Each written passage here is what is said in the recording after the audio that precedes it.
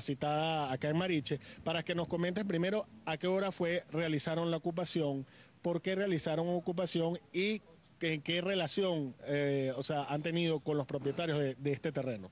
Bueno, este, buenos días. Nosotros ocupamos eh, este galpón este, ayer a las 8 de la noche. Este, somos un grupo de familia. Eh, este, ocupamos el galpón porque somos prácticamente la mayoría personas alquiladas y otras eh, arrimadas, este, arrimadas. y nosotros llegamos a un acuerdo con con los dueños de que podíamos hablar con el gobierno y depende de lo que el gobierno nos dijera, nosotros teníamos otro acuerdo de llegar a ellos de que podíamos pagarle eh, mensualmente. ¿Por, qué es, ¿Por qué específicamente están ocupando este terreno? porque es un espacio que está, eh, o sea, está abandonado hace más de 10 años. Eh, como pueden ver al fondo, todo está lleno de monte. Claro, ya se ha limpiado un poco para como estaba. Y porque nosotros necesitamos realmente el, espacio, pues.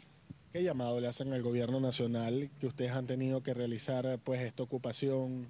Bueno, nosotros le hacemos un llamado al, presidente Hugo Rafael Chávez Fría, este para que nos ayude porque necesitamos este necesitamos la vivienda. Este somos madres y padres de familias muchos solos tenemos niños eh, y también necesitan unas viviendas. El vicepresidente de la República ayer hizo mención y pidió a aquellos seguidores o aquellas personas que de alguna u otra manera siguen al presidente Chávez de que no se realizaran este tipo de acciones, que esto no, no soluciona per se el tema habitacional. ¿Qué tienes tú que responder al respecto? Mira, este es la única manera que nosotros encontramos de tener nuestras viviendas ocupando un lugar que tiene tanto tiempo abandonado para nosotros poder tener nuestra casa, nuestra vivienda digna, como el presidente y el mismo Elías Howard lo dice. Y entonces, como no tenemos el dinero suficiente para comprar una, una vivienda, es la única manera que encontramos para obtener nuestra vivienda. ¿Cómo hicieron para ingresar al terreno? Eh, forzamos el, cilindro.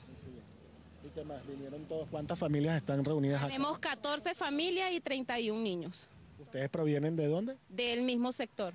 Del mismo sector, Del mismo sector de aquí de Mariche, pero vivimos unos alquilados, otros arrimados y así.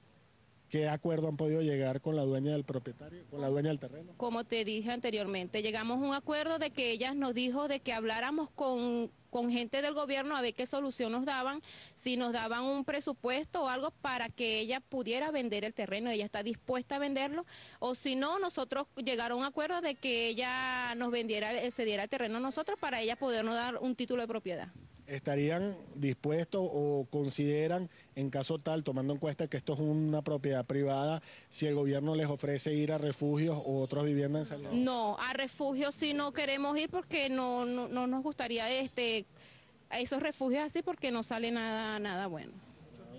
Y tenemos demasiados niños.